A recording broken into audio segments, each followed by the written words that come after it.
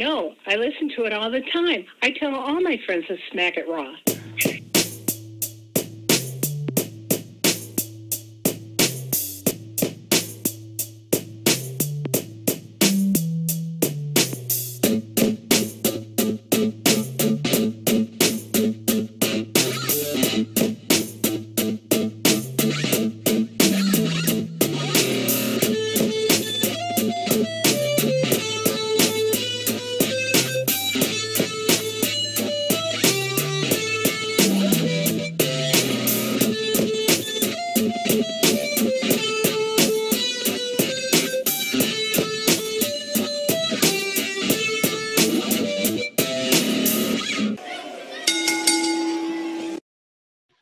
Following podcast contains mature content. The views and opinions expressed by the host are not necessarily those of the host. Listener discretion is advised. Hand jobbers and hand jobbies, welcome to the Smacking It Raw podcast episode. What are we on now, Travis? 138. 138. It's episode two of Watch Along with Travis and Matt. And we had so much fun last week going to 1997 WWF, January 20th, 1997. Then we're just going to go to January 27th, 1997, and watch the very next episode because we enjoyed the shit out of it. Just about all of you guys enjoyed the shit out of it, except for like one person who spit in our Twitter poll. And by the way, if I put up a Twitter poll and I ask for your opinion and you spit on it, go in the comments and let me know why you spit. So maybe we can make it better. Maybe we can fix it. We we're here to try and entertain you. We want you to enjoy the show. So if you didn't like it, I'd like to know why. I'm not going to get mad. I'm not going to call you names or, you know, threaten your your family or anything like that, unless you're a dick about it. But if you have a legitimate gripe or something you just didn't enjoy, let me know. Let Travis know. Let us know in the comments wherever, so we can try and fix it. Or yeah, or he can flick you off. I said I'm not going to. I'm, I didn't make any anything, uh, any statements that Travis isn't gonna do mean, awful, horrible things on Twitter or in person. So I've got no control over him. And also, I guess I should introduce him correctly. I am the Warden Matt Ridder, and he is my co-host, Sir Cussalot Travis Pointer, aka the Dragon King, aka Big T, aka Sweet T, aka T Money, aka T Bag, aka Black Merlin, aka the HNIC. Travis, how you doing today? I'm doing all right, sir. How you doing? I'm doing good. I'm doing good. And uh, as what we will be doing for the foreseeable future, we are going to talk a little bit about current wrestling product today. Have you been watching anything, Travis? Or um, I saw the Undertaker promo and I watched NXT. Okay, what did you think of the Undertaker promo? Undertaker promo was some cool shit. I like what he's doing right now. It's not like the straight up, you know, dead Undertaker thing. Kind of did this weird mix of, you know, American Badass with the with the dead man going on right now. I like that. I like what he's got going on. See, so a few things from this Undertaker promo. Um, a, I agree. He's got the beanie and the bandana on, which tells me it's the American Badass. He even had a leather jacket on, and the way he did the promo was very similar of the American Badass. It wasn't very dead man esque, but it could also be Big Evil because don't forget between American Badass and the Return of the Undead Undertaker, we had Big Evil Undertaker, which was kind of mm that hybrid. I actually had the Big Evil hoodie. It was probably my favorite hoodie, and I wish I was still skinny enough to fit in it and still had it. Um, but he said some very interesting things in this promo. He called AJ Allen. He said that wife Jones. yes. He said that his wife Michelle got the faith breaker over more than AJ ever got the Styles Clash over, which I loved. And uh, he said he was going to make him famous, which is very clearly a uh, American Badass Big Evil Taker line. The "I'll make you famous." That was mm-hmm. when he fought Jeff Hardy and all of that. And on top Started of that, he mentioned DDP. Your favorite WCW guy. That is correct. He is my favorite WCW guy. Unfortunately, they fucked him in WWF because that whole run he had was terrible. Yeah. Um, he also mentioned an unholy trinity, Travis. Now I've got to assume that one third of that unholy trinity is the Undertaker, and the other third or the second third is probably Kane, but we don't know who the third third is. The last one third of that trinity. Could it be Michelle McCool? Could it be Aleister Black? Possibly. That'd I know nothing would make dope. you happier than it being Aleister Black. I mean, no, listen. I don't think he can come over because last I checked, he was doing stuff with NXT UK, and I don't know if he's made it back to the states. But I'd be cool with the Demon Finn Balor. Clearly, it's not going to be the Fiend because the Fiend has bigger fish to fry than fucking helping the Undertaker out at WrestleMania. He's got John Cena in the Firefly Funhouse match and all that fun stuff. Um, so yeah, no, if, I'd be cool with Demon Finn Balor. I'd be cool with Aleister Black.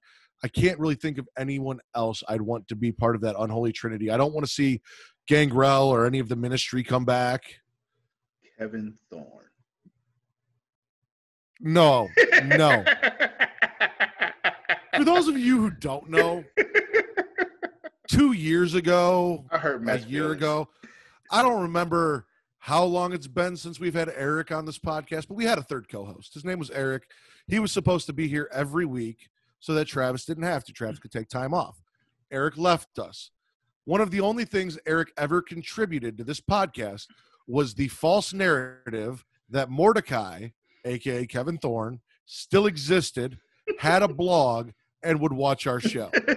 And also was, was in the rafters watching yeah, yeah. episodes of Raw and SmackDown and then blogging about them. This is something that Eric contributed that died with Eric. If we were going to have someone, it'd have to be Mordecai, not Kevin Thorn. Kevin, I, no, unless he's bringing back Ariel, no Kevin Thorn. But speaking of Kevin Thorn, I'm glad you brought that up. I renamed my Pharaoh Thorn Kevin Pharaoh Thorn. This is Pokemon again. This is Pokemon again. Okay. Yeah, I know you're not hip to anything past the original 151, so Yeah, yeah. which is you're right. disappointing. Like I go back and I play Leaf Green and Fire Red every now and then, but I don't play anything else. I don't. I don't fuck with this. You, you're, you're missing out, dude. You're missing No, out. no, um, no, I'm good. I'm good. You did good to get me to play Ruby and Sapphire back in the day. Even then, I have the option of playing those again. I don't. You're missing out. Um, New Jack's documentary just was released on Tuesday for the Dark Side of the Ring, and this guy is fucking nuts, Travis. He stabbed a 72 year old man in the ring because the 72 year old man told him, "Hey, now this is a 72 year old journeyman who never made it to like a major company, but he told New Jack, "Hey, you might be able to learn some things from me." New Jack felt like the guy was kind of trying to throw him around and no selling his shit. And New Jack's like, all right, fuck you. You no sell my shit. And he pulled out an improvised stabbing utensil and stabbed the 78 year old man. He tased. Uh, do you are you familiar with Vic Grimes from ECW? The name the name? sounds familiar. Yeah. Well, him and Vic Grimes were on a platform and they were supposed to do a move off the platform onto a concrete floor. Vic Grimes decided after getting up there, I can't do this. New Jack said, fuck that, and pulled Vic with him. Vic did a flip and landed on New Jack's head, cracking New Jack's skull, and then never called New Jack to check on him. They had a rematch a year later, and during that rematch, before the rematch, A, New Jack says before he does all of this that he went and got high. He was doing cocaine. He's high for everything. That's one. Two, New Jack went and bought a stun gun. So when they went up on that famous New Jack clip that everyone sees where he throws the guy off the scaffold and he hits the tables and the ropes and then yeah, he stunned Vic Grimes with a stun gun. And Vic Grimes said, I can't feel my legs. And he's like, You won't need them, motherfucker. Bombs away and threw him off. He said he was trying to throw him to the floor, but he didn't throw him hard enough. He was trying to kill him. Then he said he climbed down and walked up to Vic Grimes and said, Now we're even, motherfucker, and just left him there. It was fucking psycho. They never even got into the stuff with him and Terry Reynolds. He talked a little bit about his upbringing and how he watched his father stab his mother and shoot his mother in the leg when they she tried to leave with them. And there's a whole bunch of shit going on here, Travis. A whole bunch of shit. It is definitely worth a watch.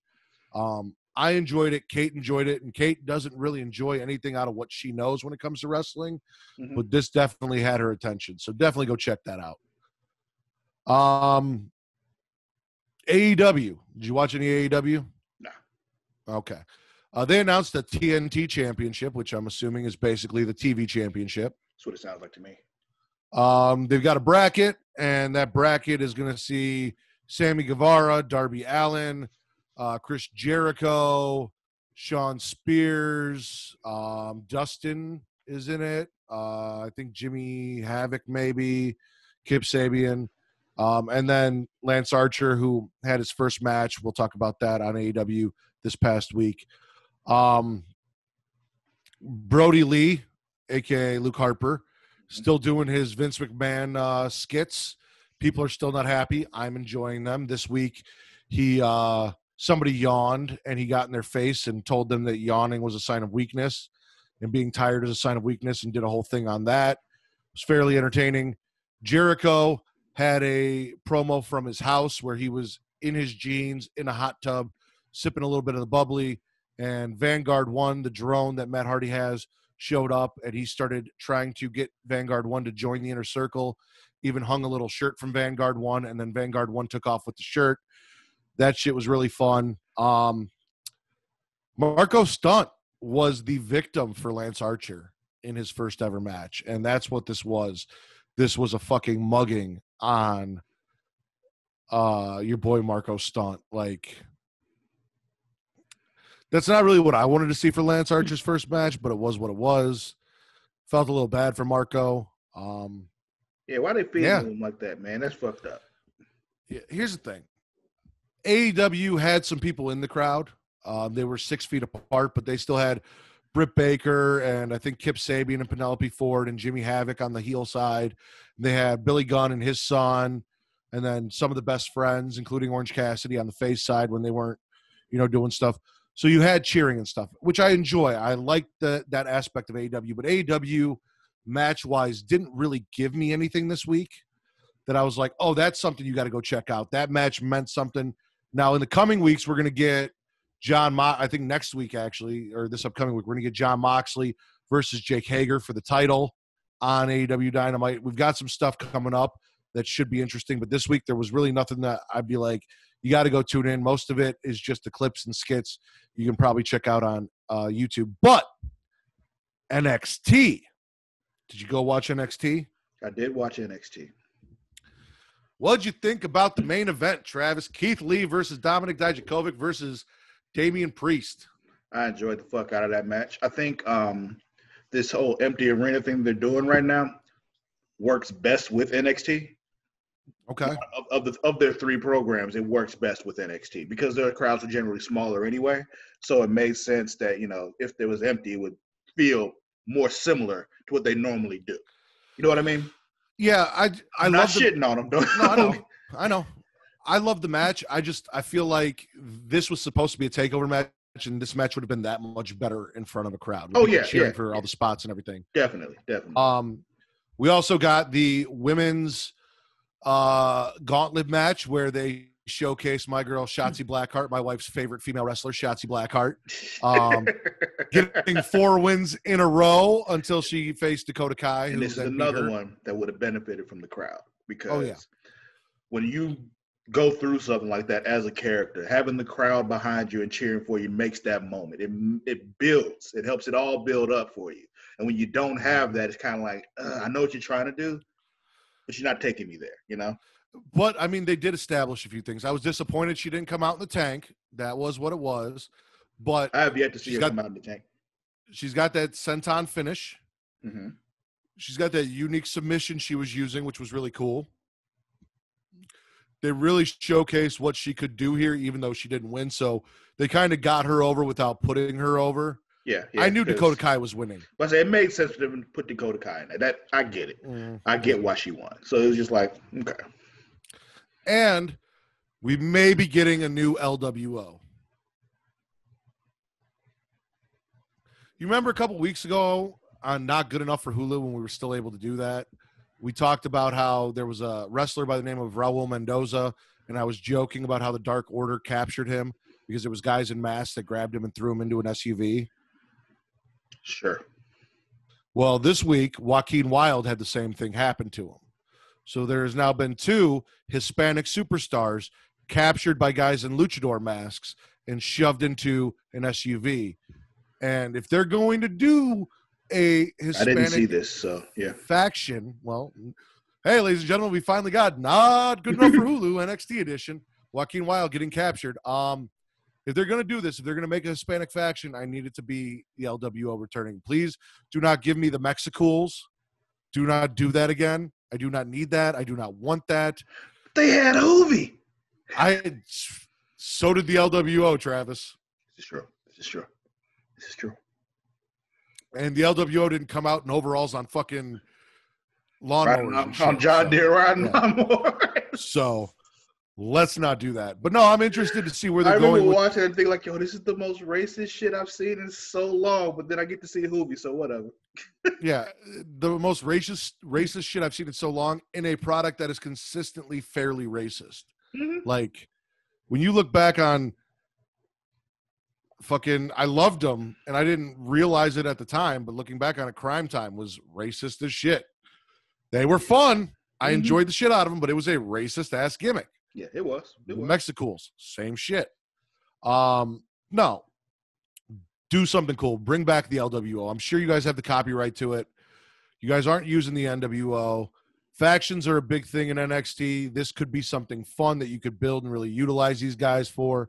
There's not another faction in NXT outside of the Undisputed Era, so give us the face faction. Give us the LWO.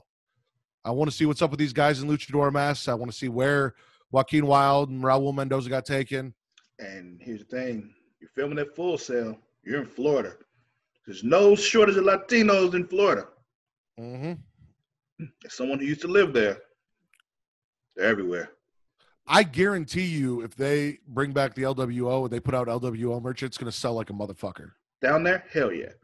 Not just Yeah. down there, all over the place. Oh yeah, I'm talking about all over. I'm just talking about like even like selling tickets to NXT and shit. Like Yeah. that place would be packed with those people, man. Like just people who want to see themselves. It's just you know. Uh, my buddy, my buddy uh, from Twitter and the Smack Raw podcast at SES Vince, when we were doing our tournament on Sunday, determine the best wrestler um, on all four brands currently. He is Hispanic, and he was the whole time he was rooting for his boys, Rey Mysterio, and he's you know he was representing for the culture. Vince, if you're listening to this, hit me up on Twitter. Let me know. Do you want to see the LWO come back? Is that what you want to see from Raul Mendoza and uh, Joaquin Wilde? Are- Are you interested in that? Like, hit us up. Let us know. Um, and that's, I mean, really, that's it, Travis. Like, there's not a whole lot to talk about from SmackDown. We got WrestleMania coming up this weekend. By the time this podcast is released, um, I'm assuming you're going to get it up before WrestleMania, but Yeah, just in case, just in case, night one might be over. Um, we'll see how WrestleMania goes this year. Travis and John, my wife and Caroline all have tentative tentative plans to uh, watch WrestleMania together via Skype, so we can respect social distancing or Zoom, um, but still enjoy the show together. So, uh, and then we'll Travis and I'll talk about maybe Sunday night doing a post show and putting that up on Patreon for you guys. Yeah.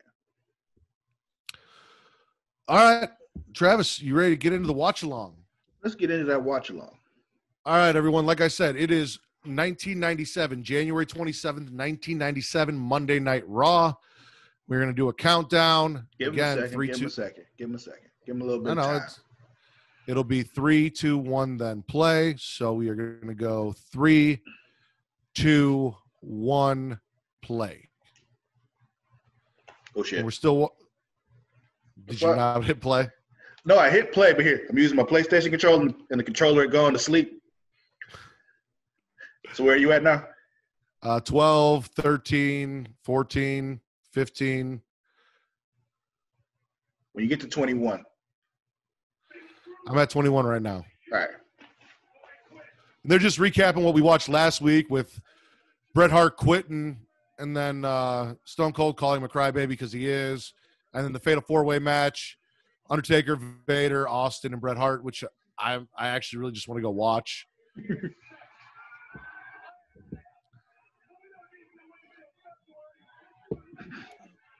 we talked about this last week too. Like the shots in this match, the fighting, the believability. It's not pretty. It's not beautiful, but it's. Uh, speaking of beautiful, I just saw Sable. I'm sorry, I got distracted. I get Um, it. but yeah, man, I- the fight. this is a opening. it is. This felt like what the show was supposed to be, what the show was called. It felt raw. Yeah, and you got that saxophone playing in the background, which reminds me kind of a little bit of Val Venis, a little bit of Saturday Night Live.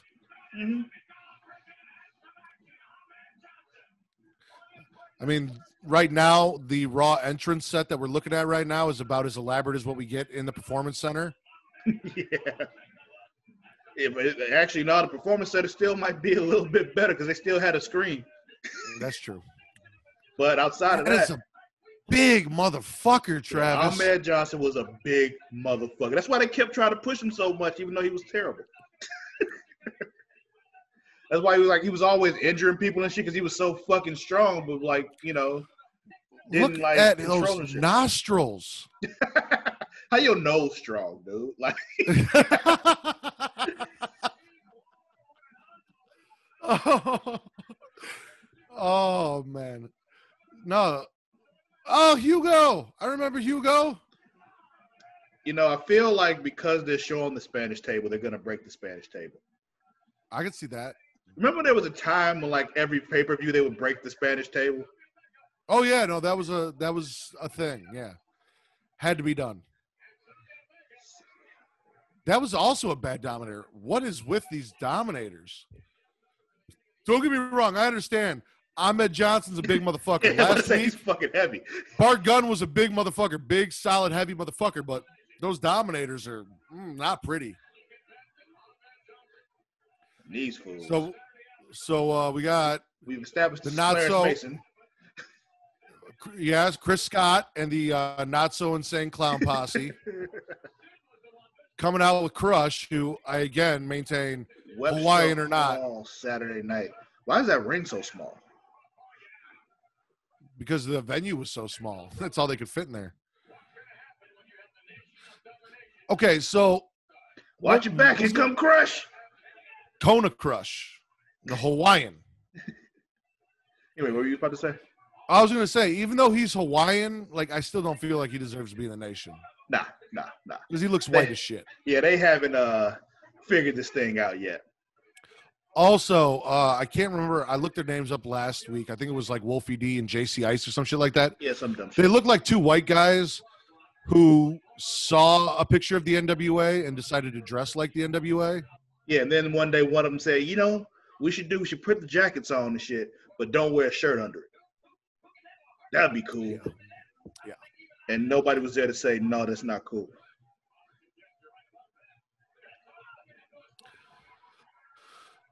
So Jesus. little known fact for everyone is uh, Ahmed Johnson. Well, everyone listen to this. Went to WCW, and when he went to WCW, uh, he was one of the first people to rip off an idea from uh, HKW. He stole Travis's wrestling ring name, something we call him now, which is uh, Big T. Yeah, man. And then he feuded with Booker T over the letter T in their name. Well, And they they really Travis- feuded, they were feuding more over the, the rights to the Harlem Heat name, but yeah, that was part of it. The T. I remember them. I specifically just remember them feuding over the letter T. But poor Travis had to sit here and watch Ahmed Johnson just completely rip off his gimmick and Yeah, then man. fight over a letter while pretending to be Travis. Yeah, man. It's fucking ridiculous.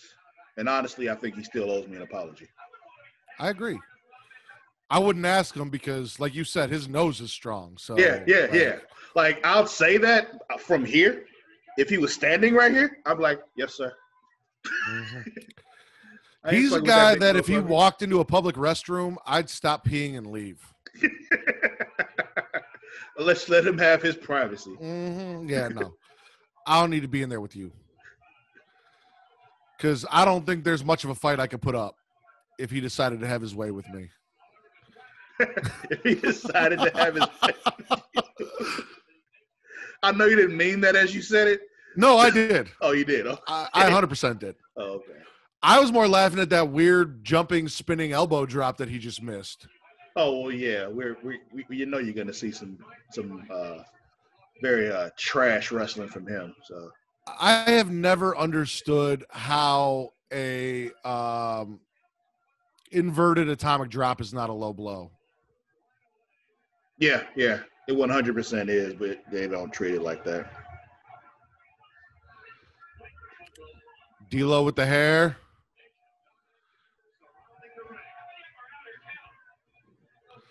So weird.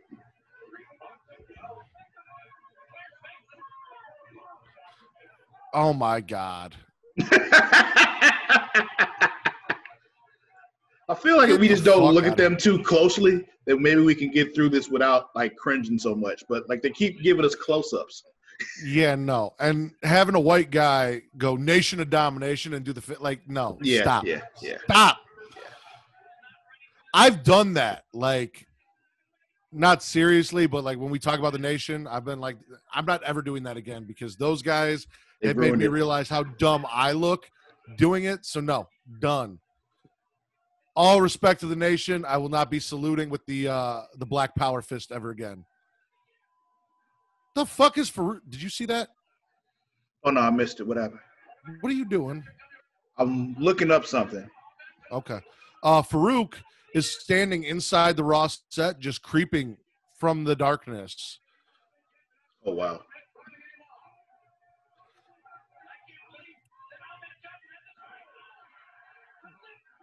What are you looking up? I was actually looking up to see what was happening on Nitro the same night.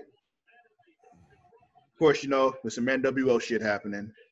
This is right after um this is right after Star like not right after Starcade, but pretty soon after Starcade 96. I think that was when uh we got uh Hogan versus Piper. Um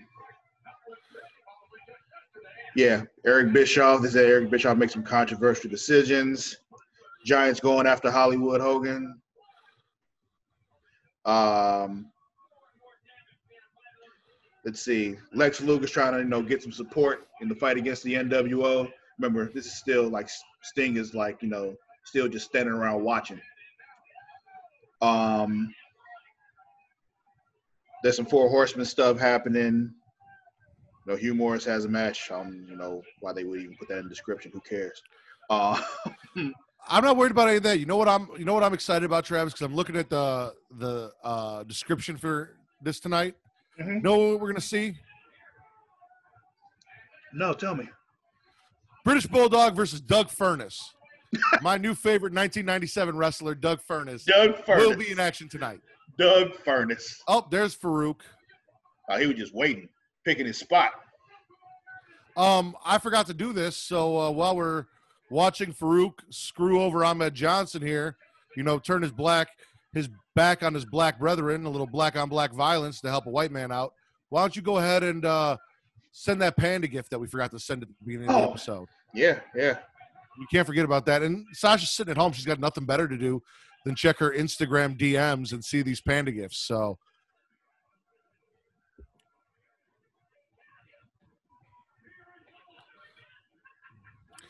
There was a point in time when he was Kona Crush, where they were be- they were really pushing Crush to be a main eventer, and I don't know what derailed that or where that went or what happened.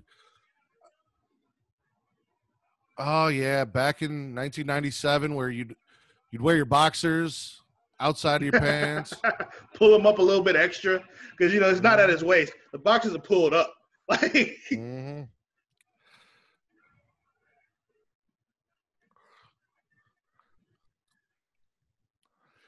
A little replay here.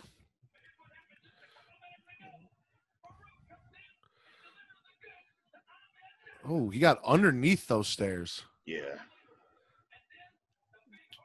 That was that a punch or was that a forearm? don't think too deep. New England Patriot type weekend for Ahmed Johnson. All right, we got a panda for those of you not watching along with us, uh, who is imprisoned, um, pushing its face through the bars of its cell, looking at quarantine. Quarantine panda. We were looking for that. Quarantine panda, ready to get the fuck out. Uh, I never really liked Shawn Michaels with the cowboy hat. really? Why not? I don't know. I mean, cowboy hats just didn't scream sexy boy to me. Like, don't get me wrong. He's dressed like an extra from a Garth Brooks music video right now. And I know that's who he is because he's from Texas. yeah, about to say he's one. He's from right outside San Antonio, actually. But the Michael, like, the Michaels I'm looking at now does not resemble the in ring presentation of Shawn Michaels that I'm used to seeing. He never presented himself as a country guy. So seeing him dressed up in the cowboy boots and the jeans and the button up shirt and the cowboy hat. What was your little bit more favorite? later on? What was your favorite WWF championship of all time? The one right after this one. So this is the winged eagle. You're talking the big eagle, the, the one with Yeah. the blue strap. Yeah. All right. You know mine is uh, the smoking skull belt. Oh yeah. If you if you're going special belts, yeah, you can add that one in there. How about the the one that never really was but existed, but they lost it? The Brahma Bull belt. Well, it never really was. So no. I mean, it existed. They just never got it on TV. My favorite belt of all time that was the big gold belt, the world heavyweight title from WWE, the WCW World Heavyweight Championship. The big gold belt is my all-time favorite. Mm-hmm. That's a good one too. It looked better with the NWO spray painted on it. No, it did not. That was a disgrace. Graffiti. Yeah, man. They sprayed NWO across the front of that belt. I See, I don't like the colored leather. That's my problem. That was my problem with the winged, uh, the big, the big eagle. The one that you like was the blue leather. Mhm. I like black leather. I feel like leather should be black. I like my leather like I like my coffee, like I like my men. Black. It is you know what it that's- You know that's not leather's natural color though. Like, No, I understand that. but like, but you don't like colored leather. But I'm like, you, But you, but you do. Blue also isn't leather's natural color. So I never claimed it was. black isn't technically a color though.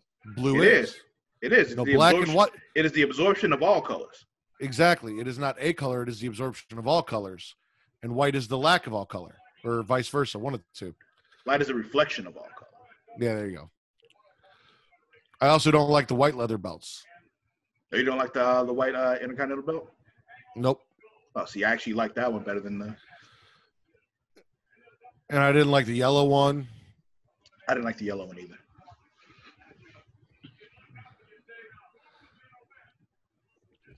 Is he doing the four horsemen? Is he sending a subliminal mes- message there? I doubt it, but you know, I did mention on this same night the Four Horsemen are on Nitro, and that was the um the this incarnation that's on there right now. I believe is Ric Flair, Mongo, Chris Benoit, and Dean Malenko.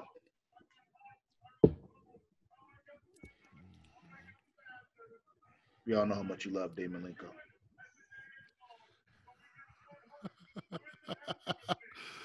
Oh, fuck Dean Malenko. Fucking creep.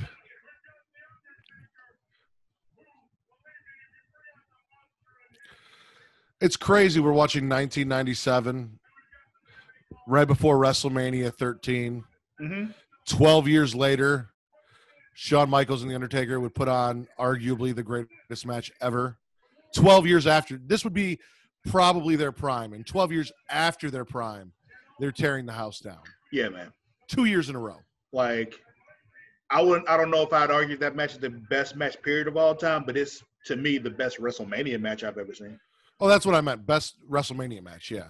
Yeah. So you've got, I'd say, in the arguments of best WrestleMania matches, and we talked about this last week, you've got Austin and Bret Hart, you've got Macho Man and uh, Ricky the Dragon Steamboat, and you've got this match. And then maybe Michaels versus Kurt Angle. Kurt Angle said that that match is his best match or his favorite match of all time. I mean, but how many people had their best match against Shawn Michaels though? You know, like it's kind of a thing.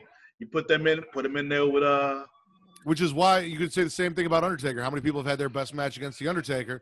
So you mhm. put those two guys that make you famous, those hit makers, two of the best of all time in the ring together, and it's and just magic let them time. do their thing. And it's different than like you know other matches they've had. Like they had that great Hell in the Cell match. That first one's still my favorite. Mhm. Um, but like you pretty much put them in there and just let them do their thing, and it was fucking amazing. I'm not this a fan guy of the talk about hit makers. The hitman.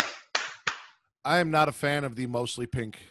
I like that the tights are mostly black when his tights are almost all pink too, and it's just the black highlights. I do not like that look. But this is the original real real men wear pink. He never claimed it was salmon. Real Yeah, men no, wear pink. Oh no, he wears pink, and he's like he talked about it before too. He was like he wore pink on purpose.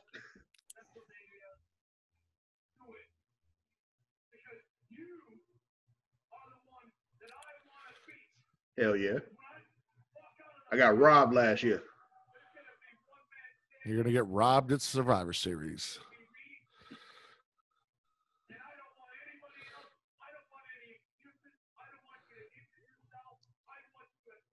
Why would he injure himself?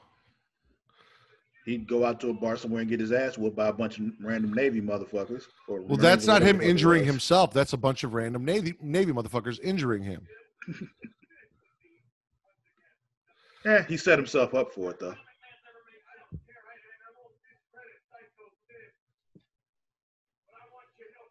I'll discredit Psycho Sid all the way. When was, oh, that wasn't until like 1999, 2000 that he broke his leg. So we're not going to get to that match for a long time on our watch along. Yeah, That's still like, I see one of the hardest top. things oh, to watch. Yeah, yeah. Oh, I was right up there. Remember? I don't, well, you don't watch watch basketball, but basically the same thing happened to Paul George. Went up when he came back down, his leg went like, God.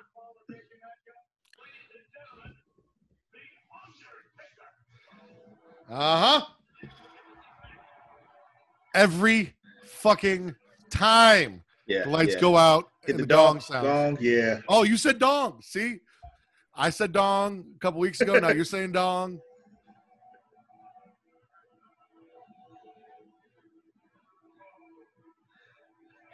Blue light. And I'm guessing you still don't like this tire though. Uh, I'm not a fan of the top. Yeah. And like I said, I didn't really remember it. Um, this is I'm used to the more fitted, uh, not so loose tops that he wore with the more ornate designs on them. Yeah. That's coming like probably towards the summer, I think, if I remember Yeah. correctly. This almost looks like he's wearing velvet. This is nice. What is that velvet?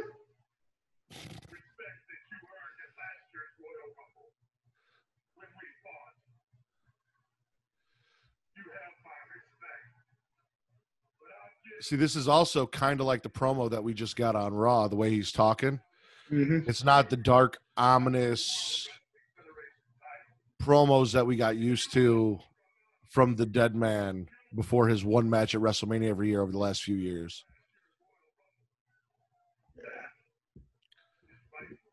It is. He's right.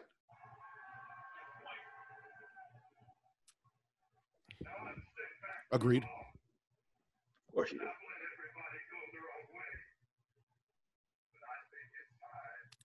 It's weird to me that he's a fucking ginger. Yeah. we couldn't really tell back then because of the way the cameras were because we just thought his hair was dark. But Mhm. like he started dyeing it later. hmm You know, when the ginger comes out, it always trips me up a little bit. Yeah.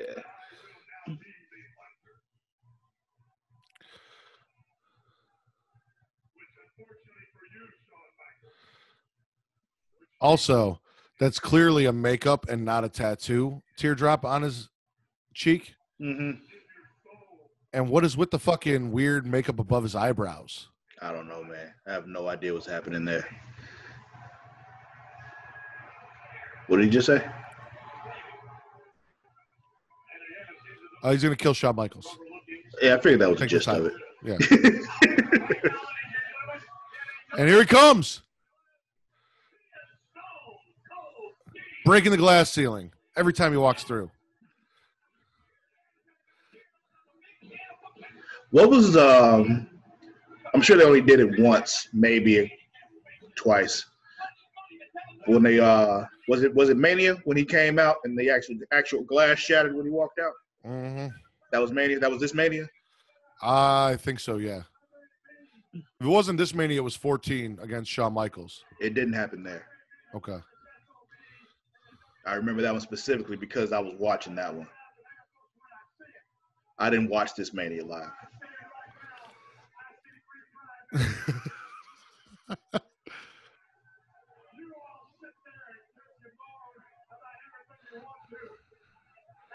I love like he's too good to hold his own microphone, so he made Jim Ross come out and hold it for him. Or maybe he's just being that heel and not getting in the ring. He can still hold a microphone though. Oh, Oh, yeah, this is true. There's there's Vader back Ooh. there ready to come out. Man, they call Vader. in the dark. Yep. he like, oh shit. Yep. I ain't going back that way. like I can either deal with them or I can deal with Vader. It's like, uh, I don't, I don't think that's a good choice here. Also, it's weird how you get so used to things like seeing Austin with the wrist tape that when he doesn't have the wrist tape, he looks weird without it. Yeah. Like he looks more naked, and it's just wrist tape that's missing. You know what I'm saying? Oh yeah. Well, it's just like you know, the we got fuck is this?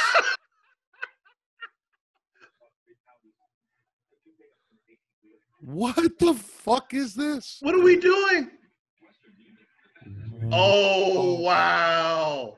Okay, Oh It was- wow! it was a rewind. I was like, why are we showing a Western Union commercial right now? We're doing a rewind from like 10 minutes ago.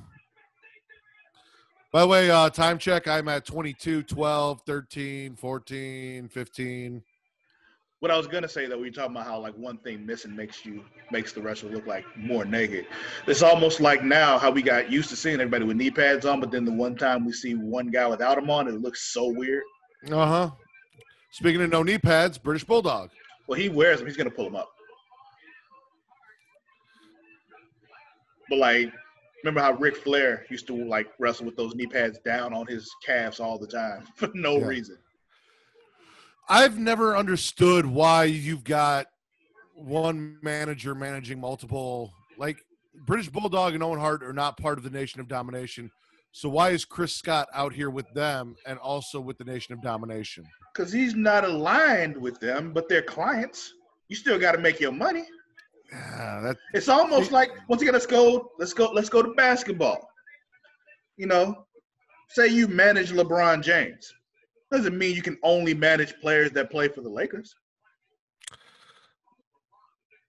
You can manage Meh. teams that play for like the Atlanta Hawks or the Chicago Bulls, whatever you want to do. These are your clients. You work for your clients, and you get more clients, so you get paid more money. Managers Listen. are about getting paid, bruh. I, I hear you, but right now we need to focus on the greatest wrestler of 1997, Doug Furnas, and the match he's about to have.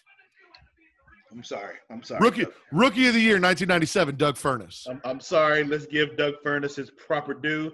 And I guess I was wrong. Bulldog did not pull those knee pads up to his knees. Nice drop down, leapfrog drop kick combo. Technically sound. Got a little yin yang there on his pants.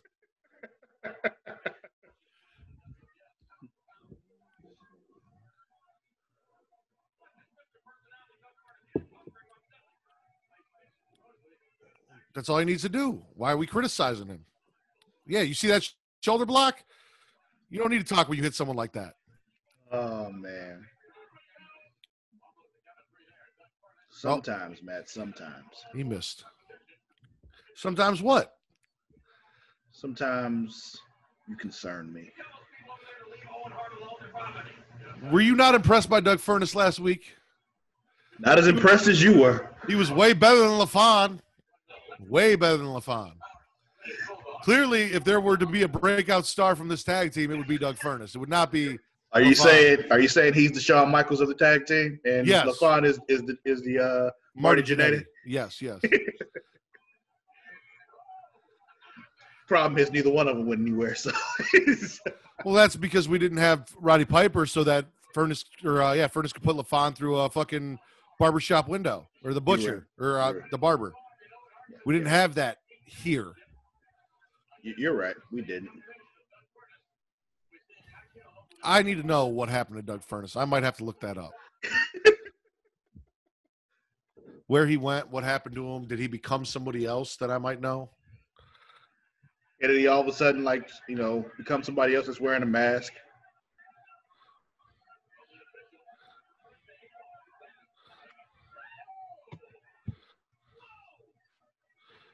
Hey, ref, calm down, man. What, what, what you so mad about? Like he saw the steps were loose, so he picked them up, Oh, and he just happened to drop. See, he just dropped it. He didn't throw it at him. It just, you know, it slipped out of his hands. oh, that's sad. Is he dead? Yeah, back in 2012. Damn. Oh shit! Why he got a two by four? Everybody Hack- in the back, run, Hacksaw Jim Duggan ain't here. run! If you in Oh, there, he about to he done fucked up your door. Why'd you drop your two by four? Because the two by four wasn't breaking the door down. I know, but his foot was. He didn't need his. He, he didn't need to drop the two by four to kick it. Listen, if you're swinging a two by four and it ain't getting it done, and you swing your foot and it does get it done, do you really need a two by four? Or you just need to start kicking motherfuckers. You can do both. That's my point. He retired in 2000. He died in 2012 um, from hypertensive heart disease. Juicing.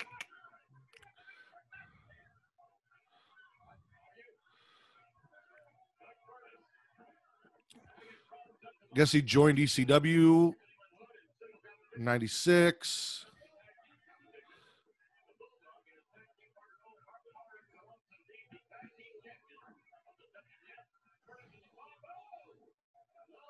I forgot that LaFon was out there.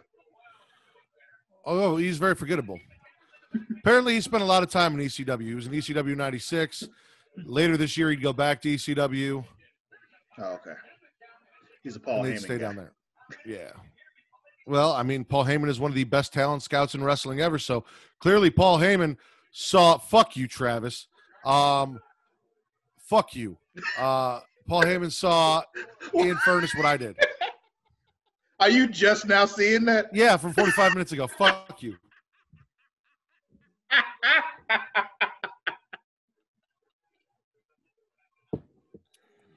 Uh, yeah, when I was like, I got to do one last thing before we start. Yeah, that was it. Uh huh. Yeah. Go figure. oh man.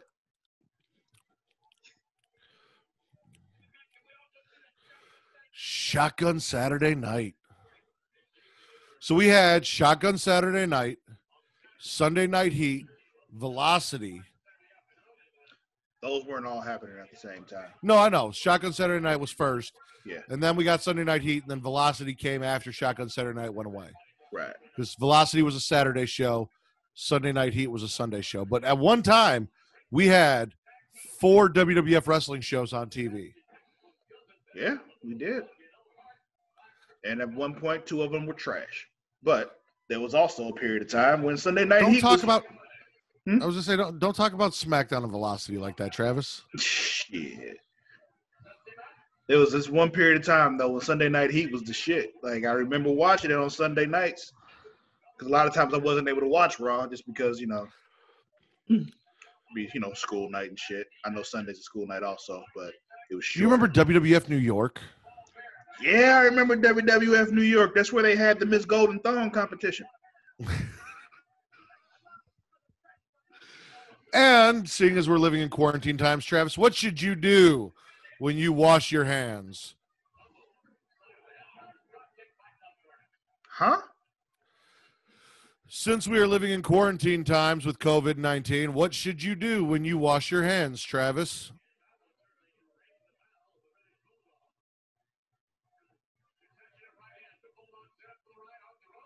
I have no idea what you're talking about. They had the Golden Thong competition at WWF New York. You're supposed to wash your hands for 20 seconds while reciting a song that may be related to the Golden Thong competition. The Oh, sing the oh, sing the thong song. Christ, okay. Travis. Okay. What the fuck How is he talking about? Could I spell this out for you? Dude, I forgot all about that shit. You know how long ago that was? I figured all I had to do was say song and thong, and you could put the two together. Nah, nah, nah. Because I forgotten I said that shit. Oh, slam me to the bulldog. One, two, three. Oh, come on. Bulldog's a tough motherfucker, man. Bullshit. That was Doug Furnace's big win right there. There you go, Bulldog. Damn it. Owen Hart got in the ring. That should have been a DQ anyway. Yeah. He got in There's the ring. no way he kicked out of that. Fuck that shit. Now, see, if he had executed a, a finishing maneuver after that, he probably would have got the win. But he got, you know, he got too impatient. We don't even know if he has a finishing maneuver, Travis. All right. Well, he. Uh, you mean to tell me that you don't think the great Doug Furnace has a finishing maneuver? I don't. When you're that great, you don't need one. You can win the match at do. any point. Clearly, you do. that was supposed to be DQ. It's not his fault that Owen Hart got in the ring and got involved in that Nike sweatsuit, that green and white Nike sweatsuit. Hey, don't yell at the manager. He just there to get you paid. It ain't his fault. Yeah, Chris Scott didn't do shit. You leave that man alone. Now, now this one right here, yeah, you can be mad at Owen Hart. He fucked up. Here's my thing. Like, yeah, he hit you with a slammy, but you won the match. It's not like you lost. Yeah, but you know, you fucked up. I'm- I'd be mad if I got hit in the face with a slammy too. How Like- mad? Mad enough to where I cuss him out after the match. Okay. Like we ain't gonna throw hands about it right now, but I'm, I'm gonna cuss you out. Well, that's good to know because now I know that I can hit you in the face with a slammy without us throwing hands Context, sir. on accident. Context. Context. accidentally hit you in the face with a slammy. I mean, as you know, you and I are both good at pretending that intentional shots are not so intentional. So if we can fool a Polish hammer, we can fool each other. Dude, for the long I can't even believe that you told me. Like for so long, he thought that it's actually Oh, down goes the slammy.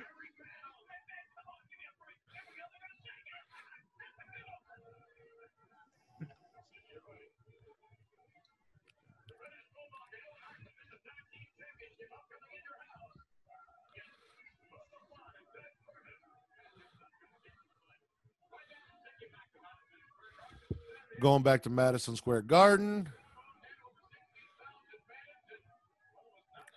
Savio Vega. Mm. I don't remember what he did, but there was one point where Savio Vega I hated, and it was I believe during his feud with Stone Cold Steve Austin. But he did or said some shit, and he was like my most hated wrestler of like that feud, that that point in time. Yeah. There was a time when he was like working with DX leading up to um that uh WrestleMania match too. So there's a good chance he really was doing some shit to Stone Cold that pissed you off. Cause he does shit like this, so you know. And here's that really bad Dominator. The thing is here, I don't even blame I don't blame Faarooq for that. I blame my man for that shit. Is that no, it's not Jackie. who the hell are these women? What is going on? What is going on here?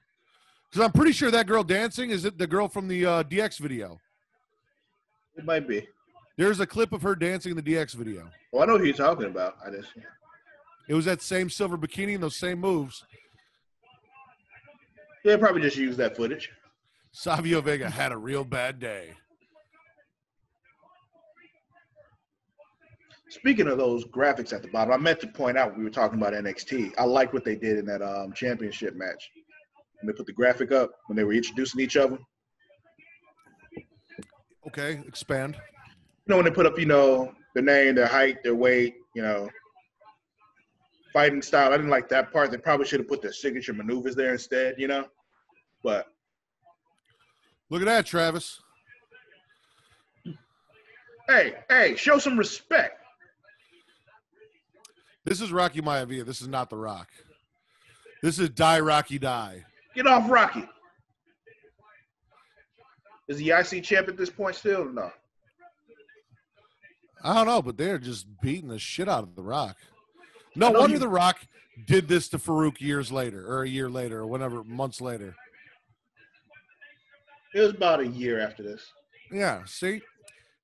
If I got treated like that by the nation, I would have No. infiltrated and It- destroyed and It was, ousted. it was it was less than a year, but it was Dude, these Well- are all. There are clips from this Shotgun Saturday Night that were used in the fucking The- DX video. yeah the entrance video. Yeah, you're right.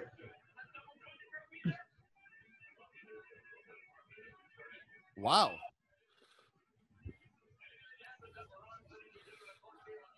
It's Vader time. Is he gonna wear the Mastodon helmet? No, I don't think he does anymore. Oh, Paul. Oh, Paul in the urn with Undertaker's family's ashes inside. this is my favorite version of mankind. Really? Not my favorite Mick Foley, but my favorite Mankind. The favorite Brown, huh? So who's your favorite Mick Foley? My favorite Mick Foley is um Hold on a second.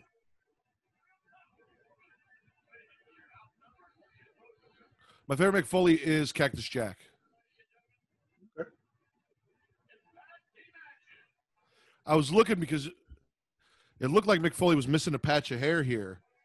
And I remember him having that hair missing, but that was when he was fighting The Rock in that they had the I Quit match and the empty arena match and shit. I think I remember him pulling his own hair out before that, though.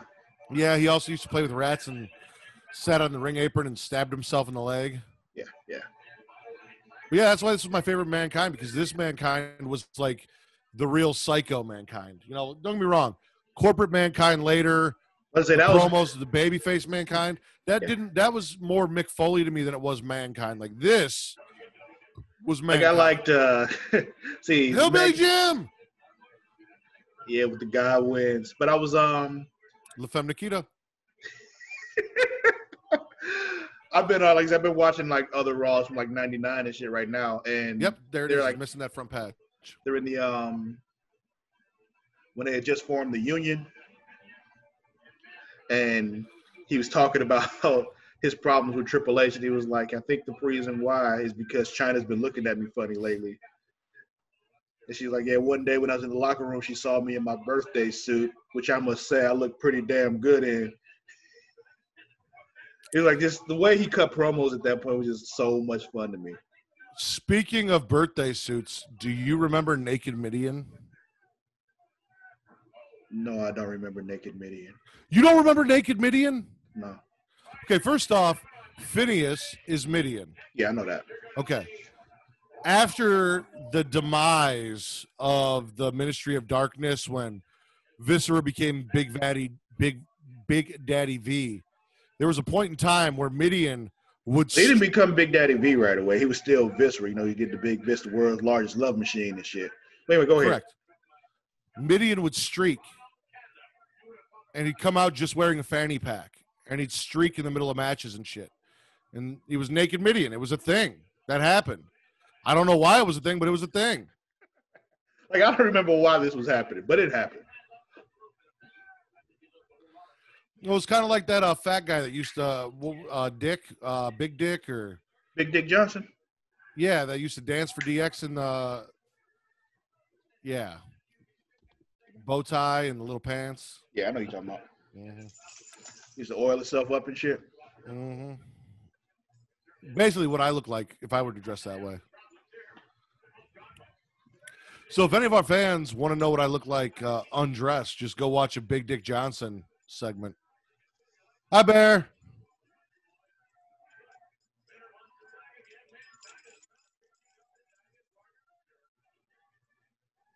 I did call this last week too. I told you that Paul Bearer was managing both Mankind and Vader, and they were in an alliance against the Undertaker. But I think that's why this is my favorite Mankind is because this is the Mankind that feuded with the Undertaker in the Boiler Room brawls, in the Mhm. Buried Alive matches, so on and so forth. And those are some of my most fond memories from that era of wrestling.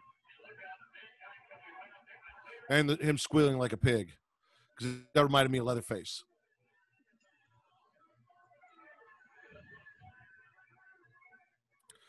I feel like they only put them together because they both have masks, like similar masks. Yeah, they're both wearing leather strap masks across their face. Oh, Like, hey. you guys make a good team.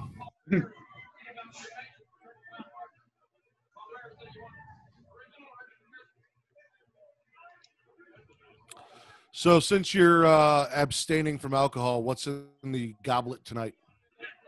Um, right now it's just Kool Aid. Just Kool-Aid. Well, not What- even really Kool Aid. It's um, you know, to get those little single packets with the Hawaiian punch things. hmm It was that blue. What flavor? Blue. hmm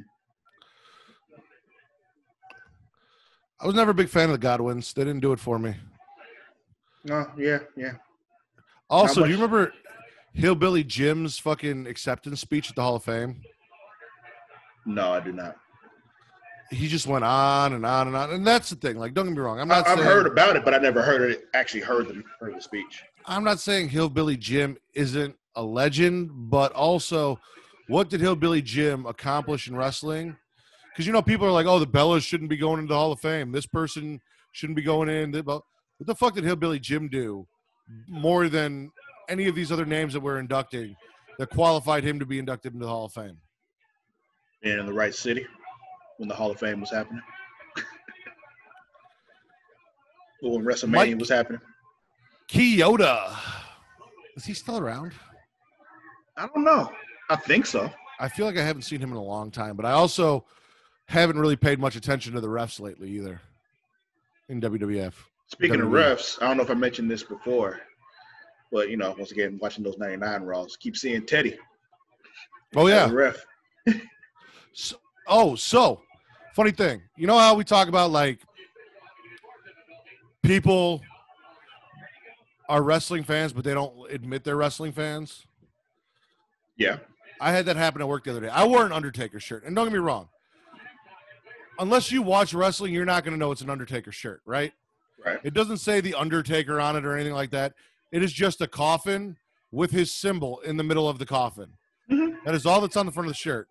And I was walking through my headquarters with the shirt on, and one of the managers said, Hey, you watch that WWE stuff? Is that an Undertaker shirt? And I'm like, Well, first off, if you know this is an Undertaker shirt, it's not that WWE stuff. You know exactly what the fuck it is. But apparently, he knows Adam Pearce, who he showed me pictures of Adam Pearce, and I knew who he was. Um, is that bald guy that we see come out, you know, on occasion on Raw when like they're breaking, like he's in the suit, he's bald. He like he's kind of like the. They talk to him backstage when they're announcing a match and they need like a voice of the authority or whatever. He was dealing with Sasha and Bayley when they were in the locker room and they made that match. And anyway, he's a trainer for NXT. I guess he went to uh, high school with them. Mhm. And he's a few, the guy that I was talking to is a few years older than me, but there's an even older guy that's a manager who was also in there. And he goes, You know, I was flipping through the TV and they had some wrestling on the other day and they were wrestling in front of an empty arena. He goes, And it was the weirdest thing I'd ever seen because everything else was shut up. And I'm like, You were watching wrestling. It was like you were just guys- watching wrestling, dude. Why just are some you? old motherfuckers that are just trying to pretend like you weren't watching and wrestling. use the term empty arena.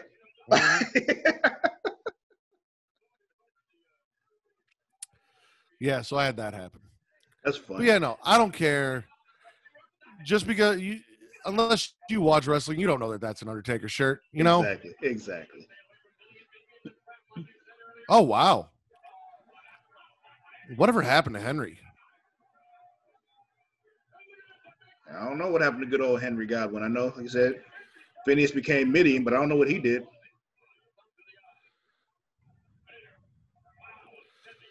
This is not a great match. Like this is not keeping me as entertained as the uh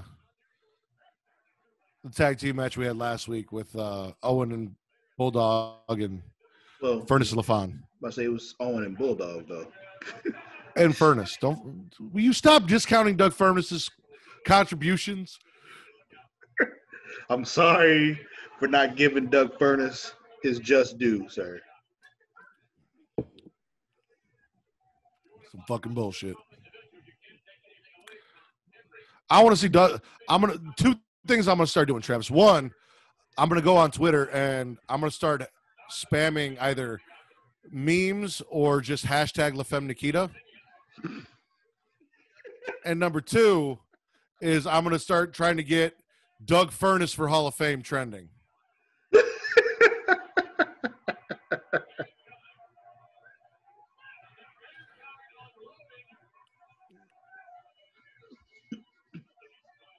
what the fuck? I say I don't think he cares. Like, it's... and Paul like, what's wrong with you? And that guy's like, whatever. I don't give a fuck.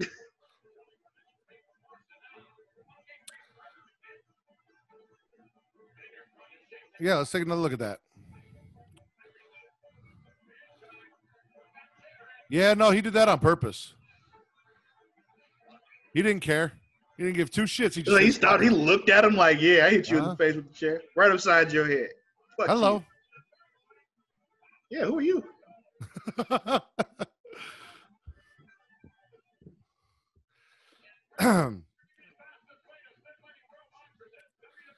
Where's Sunny? When did she get here? I don't know, but this will be the last episode of 1997. We well, I guess we could do more, but we're getting to two hours now. Mm, That's a long watch along, you know, yeah, yeah, or an hour and a half. I gotta look. that is a long watch. Long. We can we can go back to some other stuff. Some Well, I mean, it's stuff. only another 30 minutes, and depending on what I mean, I've heard rumors that the performance center is gonna be shut down. So especially if we don't get any new wrestling, we can definitely. I mean, October 27th, I see the Rock with the Nation. I saw some Sable. We got some D. Like a lot of the really best shit is in 1997, 1998. So Mhm. if it's only an hour 20 some minutes and we're not spending a lot of time on shit i mean fuck october 6th we got kane Yeah, if they, if they're not giving us any wrestling, then it, and all we're really doing is is the watch along, then yeah, we can do that. all right Damn, that That's was it. yeah i'm at johnson We finished with that match. Boo! This week was not as good as last week Boo! Right, go i gotta go say this week was not as good as last week not nearly as good as last week. This is this is why Nitro was whooping your ass in the ratings right now. because let's not forget us that- shit. also in 1997 nitro was two hours at this point and raw was only an hour long This is true. so you got two hours of wrestling content on one show with the nwo and then you had like really fun episodes like last week and then this week you had an eh episode Mm. You had an uh, episode that featured Mankind, Vader, Mankind Bret Hart- Vader in a blah match though. right? But if if I were just to tell you, Travis, we're gonna watch a Monday Night Raw, and on this Monday Night Raw, we've got Shawn Michaels, Owen Hart and British Bulldog, Stone Cold Steve Austin, The Undertaker, Bret Hart, Mankind, and Vader. You'd be like, oh shit, you got all those people on one Monday Night Raw. That's a damn good Raw. Let's watch that Raw, and then you watch it. But take yourself back to 1997. You're sitting here at home watching this on Monday night, and you get to this boring ass tag team match. Are you going to continue to watch this boring ass tag team match, or are you going to flip over to TNT and see what the NWO was doing? Probably flip over to TNT. Well, I mean, I wouldn't because I You- didn't. But I know you wouldn't, but like you know, I'm a loyalist. Like see, I did a lot of flipping. So now that I have DVR and I have the option, I watch one show, almost always NXT first, and then I go and watch AEW recorded. hmm But yeah, before that, we had to flip back and forth, and I flipped back and forth a lot. So Yeah. All right, Travis. Well, we're gonna have to pick. What do you want to do next week? Do you want to do an old episode of NXT, some ECW, or you want to go find some '96 stuff? We'll see if we even. Because my understanding is WrestleMania has been recorded, and the Raw after has been recorded. but I don't know about NXT or SmackDown for next week. I don't know if the PC is still going to be shut down, how much content they have, what we're really going to get. So, or you just want to play it by ear, and we'll see next week when we record. Because I know Illinois shut down till April 30th. So the rest of this month, so are we. So yeah. So, um, do you just want to play it by ear and see, or do you want to? Um, what was that October one? Oh, that was that's a longer one. Let's let's look at some '96 stuff for next week. We'll see what we can figure out. Okay. Yeah, yeah. Let's let's do that one I didn't want to do. You Share about that. Yeah, let's go ahead and do that one I didn't want to do. The one right after WrestleMania 12. Yeah, no, I'm I'm going back. So next week, just so you guys know, uh, we are going to do 1996. Uh, it'd be April 1996. I don't know. I, I it's not letting me go back far enough um to see all. Oh, there it is. See all. And then you fucked me. All right. Anyway, next week, 1996, Raw after WrestleMania, which should be April 1st, 1996, right? Um, I was actually in the process of looking at myself, you said you were struggling. Hold on. No, I don't want to look at that. Because I feel like I picked that because it had the Undertaker in the picture. That would make sense. keep going. Finish what you were. No, I was just I was looking that up and I was trying to let everyone know when, what we were watching. I know. Close the show. All right. Ladies and gentlemen, you guys can find us as always on Facebook and um, please go and join the group there on Facebook, facebook.com slash groups slash smacking it raw. We do appreciate that. We do enjoy the conversations. We know wrestling has been a little dead as far as product and content lately. So uh, this is a community that we can go and we can talk about anything wrestling. It doesn't have to be the current product. Come join us, get involved in our chats. I've been really bad about posting them and I've been slacking, and I'm sorry, and I will do better going into the future, starting with SmackDown tonight in about 20 minutes and then WrestleMania. You guys can find me on Twitter at Matt Ridder. That is at M A T T R I D D E R. You guys can find Travis on Twitter and Instagram at Sir Cussalot. That is at S I R underscore C U S S A L O T T. Um, is there going to be a new Super Flashy next week? No. Um, but yeah, you were right. It's April first, nineteen ninety six, for that next. That's Raw. what I thought. Because I didn't know it was after WrestleMania. I just picked it because it was The Undertaker. Yeah, yeah. Um, not a new Super Flashy Arrow of tomorrow next week, but that doesn't matter. No, matter. the You guys- shows come back two weeks, I believe. But they're only going to be on for like a month, and they're going to disappear again. So It doesn't matter though, because you guys can still go to facebook.com slash group slash super flashy arrow of tomorrow and chat there about your favorite superhero shows, the CW universe, your theories on why Crisis ruined the CW universe and why everything's been shit since then, or how, as I said, our boy Oliver Queen ruined the world and 2020 and gave us COVID 19 because we didn't have it before he recreated everything in his fucked up version of it. So. Uh, that's not actually true. But go ahead. Sure, it is. Um, No, it's not. when did Crisis happen? In January, Really, I thought it was the end of last year that Crisis happened. half was at the end of, of last year. The other half was in January. He remade the world in January. Yeah, it was recorded before that, though. Anyway, it was recorded before that. you guys can also check out all of our content and all of our shows at facebook.com slash creatia world. I mean, none of it is Uh, live, Matt. I know. that was my out, Travis. Um, you guys can go check that out. Also follow Facebook or uh, on Twitter and Instagram at the Creatia World. That is T H E C R E A T I A World. Linktree on my Twitter, on Travis's Twitter, and I'm sure on the Creatia World Twitter. You guys go check out videos, YouTube, and Pornhub. We are the number one wrestling podcast on Pornhub Keep Super way. keep us that way. Super Flash Arrow is the number one superhero podcast on Pornhub. Keep us that way. The number one Arrowverse podcast on Pornhub, y'all. There you go. So keep us that way. And then, of course, I have the link tree for all of the Smack and Raw audio locations that you can go find this podcast if you want to listen to the audio audio version while you watch along um, with us on these watch along episodes, or just while you're driving or sitting at home cleaning, whatever you're doing. Yup. Other than that, I don't think we have anything else to plug. So, for Sir Cussalot Travis Pointer, I am the Warden Matt Ridder. We are smacking a raw, and we are that damn good.